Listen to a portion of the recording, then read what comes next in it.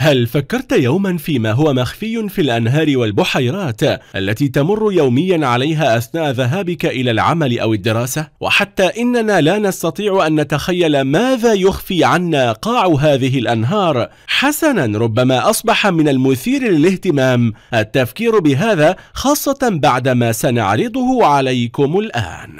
قناة سانت مارتن في باريس تم حفرها بأمر من الإمبراطور نابليون في القرن التاسع عشر والآن هي وجهة سياحية كبيرة في قلب العاصمة الفرنسية باريس وبالرغم من شعبية منطقة سانت مارتن كمنطقة هادئة ومرموقة إلا أن الوضع بدأ يتغير تدريجيا وبدأت المياه تصبح أكثر قذارة يوما بعد يوم وأصبح السير بجوار القناة مستحيلا بسبب الرائحة الكريهة للمياه ولا عجب ففي آخر مرة لتنظيف القناة في عام 2001 أخرجت السلطات 40 ألف طن من القمامة من القناة. لذا قررت السلطات الفرنسية إعادة الكرة مرة أخرى وقامت بتنظيف القناة بتكلفة قدرها 11 مليون دولار ونصف المليون دولار. وكان لابد من تجفيف القناة الأمر الذي استغرق ثلاثة أشهر لتفريغ هذه الكمية من المياه. بالإضافة إلى نقل أربعة أطنان ونصف الطن من الأسماك في ثلاثة أيام إلى مياه نظيفة. ولكن عند التخلص من المياه اكتشفت السلطات كميات هائلة من القمامة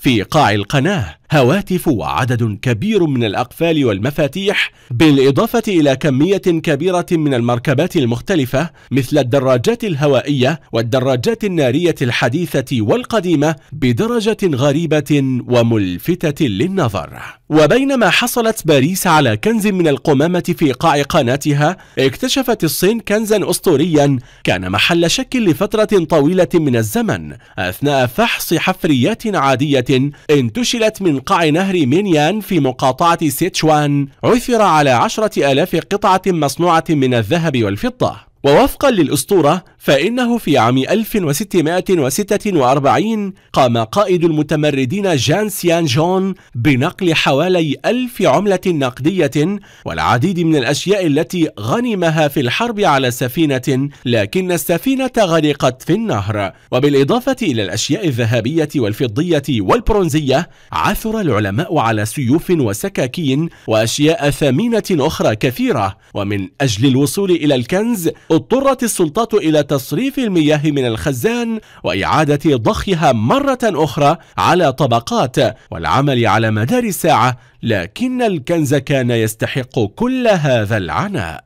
وفي روسيا في ياكاترينبورغ قررت السلطات تنظيف إحدى البرك المحلية ونتيجة لذلك فوجئ الجميع بأطنان من القمامة في قاع البركة من جميع أنواع القمامة البلاستيكية والآلاف من الزجاجات الفارغة وأشياء معدنية كثيرة جدا مثل السكاكين والآلات الحادة المعدنية وغيرها وحتى العديد من الدراجات الهوائية والصغيرة والكبيرة وعربات التسوق واتضح من كل ما سبق أن الإنسان يعبث بطريقة خطيرة مع الطبيعة من خلال مخلفاته التي امتلأت بها الأرض والماء والسماء فهل يتوقف البشر عن هذا قبل فوات الأوان؟